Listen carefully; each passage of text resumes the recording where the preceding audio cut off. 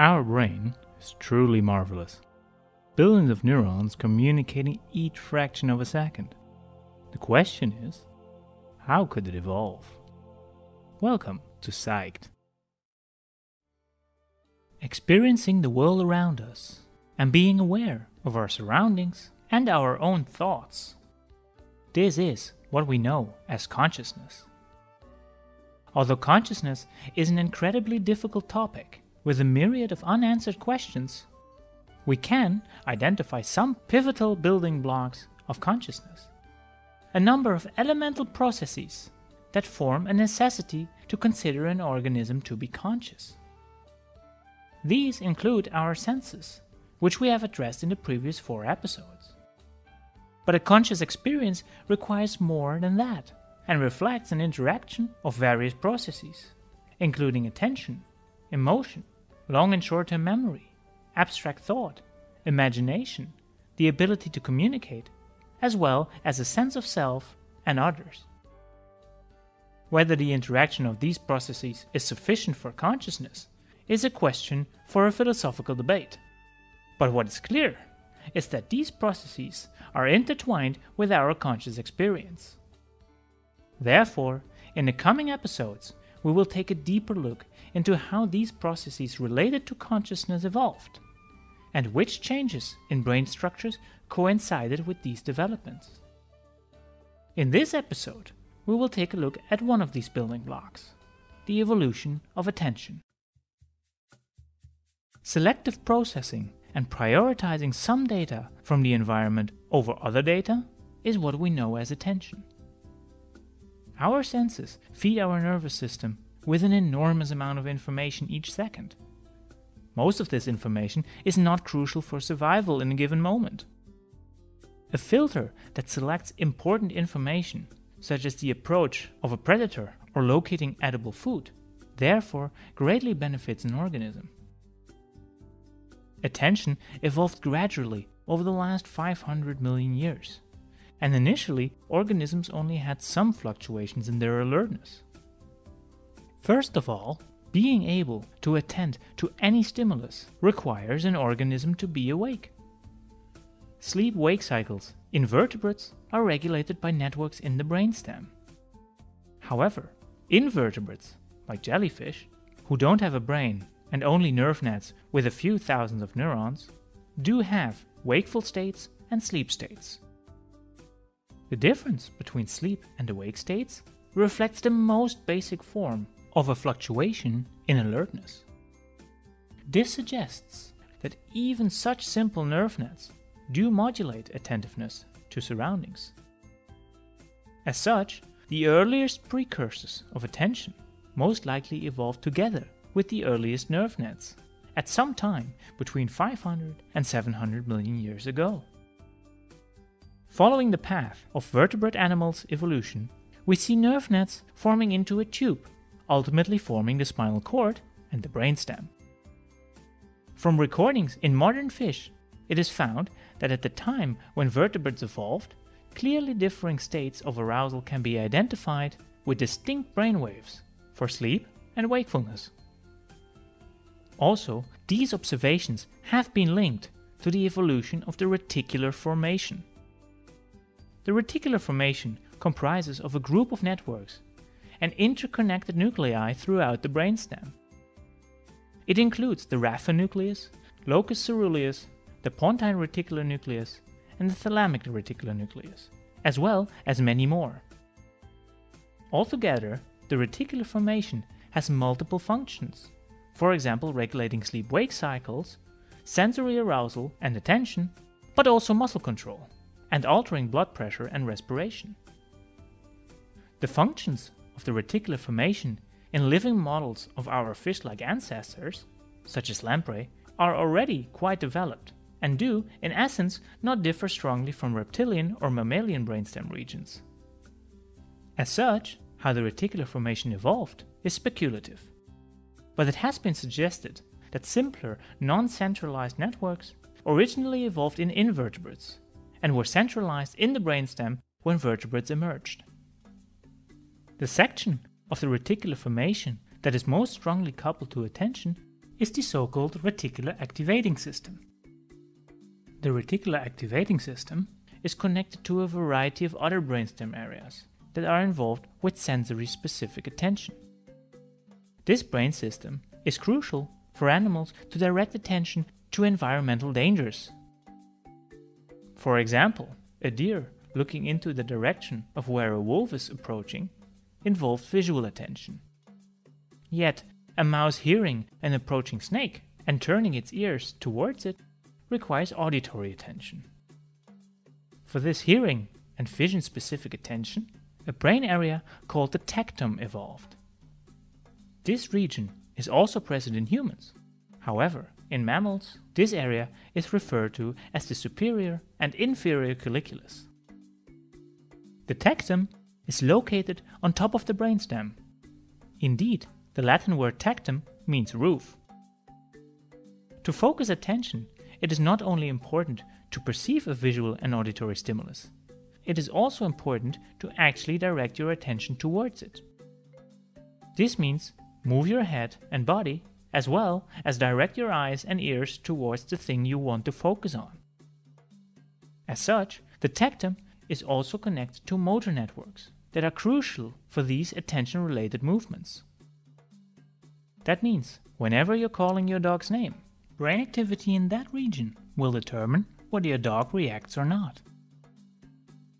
Some aspects that lead to attention can be found outside of the brain. For example, the ability to attend by moving your eyes and your head is facilitated by the fovea. In the retina of the eyes, more cells are dedicated to the center of our vision. In other words, our eyes and visual brain areas receive more information in the middle of our visual field. Thus, moving your eyes and shifting attention are inseparable acts. How much more cells there are in the fovea compared to peripheral vision cells differs between species. For example, an eagle has five times as many cells in the same foveal area as humans. Additionally, eagles have a second fovea, helping them to look down during flight. The differences between foveal vision across species suggest that it may have evolved more than once. Nevertheless, the first foveas that helped us focus attention evolved in our fish like ancestors more than 400 million years ago. Coming back to the brain, the ability to focus attention is further amplified by sensory processing in the telencephalon. The telencephalon is the part of the brain that in mammals evolved to be the limbic system and the neocortex. This part of the brain has dedicated regions for all our senses, such as visual cortex, auditory cortex, somatosensory cortex, and so on. Although the telencephalon is present in fish and amphibians, in them it is mainly involved in processing smell, since olfactory pathways do not run through the tectum. As such, this brain region initially evolved in our ancestors for attending towards interesting smells. This helped our ancestors to locate food, predators, and potential mates. Being attracted by smell or moving your head towards the location where sound comes from are both crucial for survival. Yet, humans, as well as a variety of other animals, have the ability to shift focus without the presence of an external factor that catches our attention. For example, when focusing on a particular point, such as a fixation cross, we are able to shift our attention towards the right, where the cat is, or towards the left, where the dog is. We can do this at any time without ever moving our eyes. This shift of attention is thus voluntary and is independent of what sensory stimulus is presented. This is what is referred to as top down attention. Among other things, top down attention is crucial for communicating since it allows us to shift attention to different interacting partners. It is therefore not unreasonable to assume that most primates have at least some form of voluntary attentional control. However, it can also be observed in other species. Being able to willingly guide attention also allows to attend away from an undesirable stimulus. Some dog owners will certainly recognize how their pets seem to attend away from them if they are scolded at. However, despite these anecdotal examples, it is very difficult to investigate top down attention in non human animals, since such self directed shifts in focus are internally formed. Brain scans of human participants show activity in the prefrontal cortex during top down attentional control.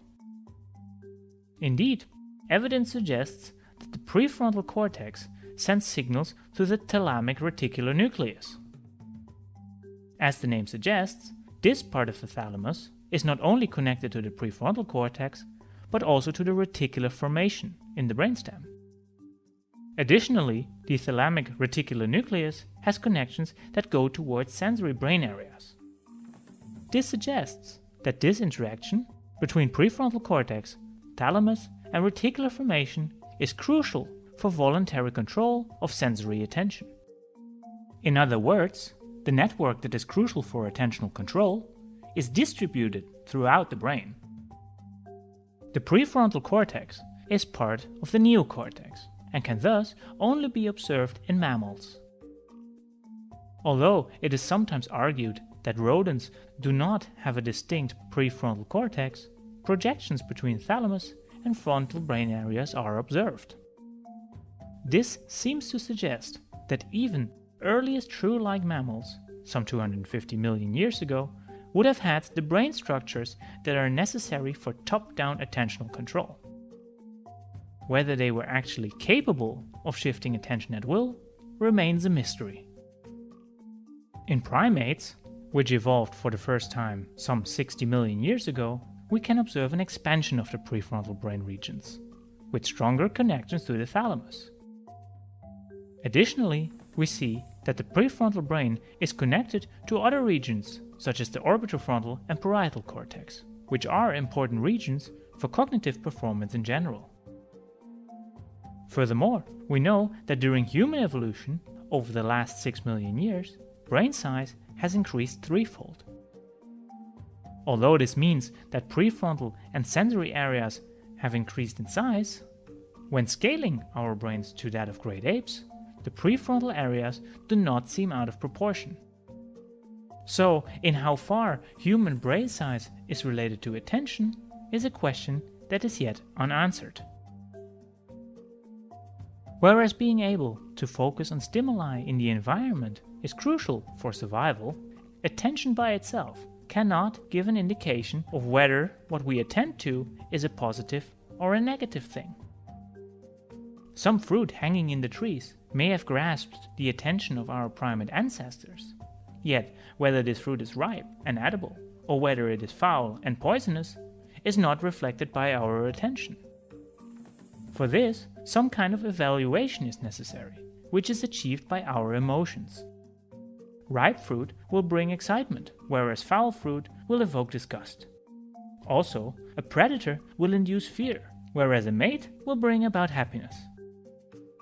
Undoubtedly, emotions are as crucial to our conscious experience as attention is. Therefore, in the next episode of this series, we will focus on this other paramount building block of consciousness and how it and related brain regions evolved. That means we will take a look at the evolution of emotion. We hope you enjoyed this episode, and we hope to see you the next time.